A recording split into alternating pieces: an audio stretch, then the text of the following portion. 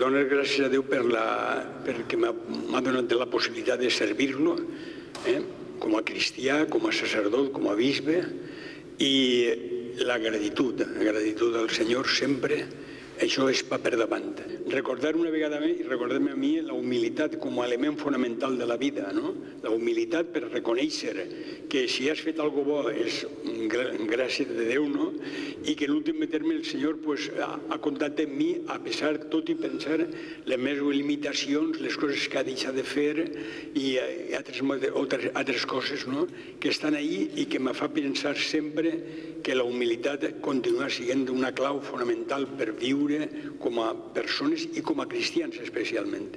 I luego, després, finalment, també l'alegria de ser-me acompanyat de tants de vosaltres, de tots. Estic en casa, estic en la meva família, en la germanor. Per a mi no és... Aquesta experiència de bisbe per a mi no ha suposat un trencament, com no pot ser d'altra manera.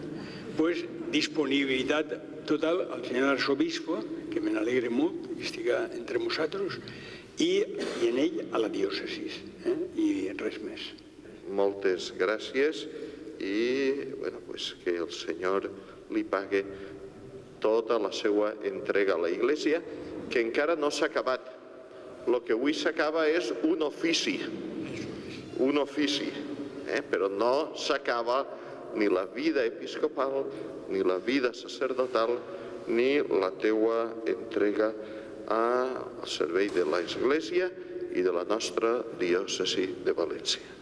Moltes gràcies i que el Senyor el done molts anys per a continuar estant present així eh, des d'esta nova situació i des d'esta nova missió o nova manera de viure el ministeri episcopal.